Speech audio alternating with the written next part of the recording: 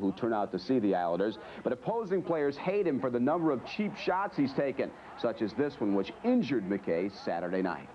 I mean, I can put up with a guy playing physical, but that's a little getting a little carried away. It wasn't a high stick or nothing. It was, you know, it was a hit. It just was.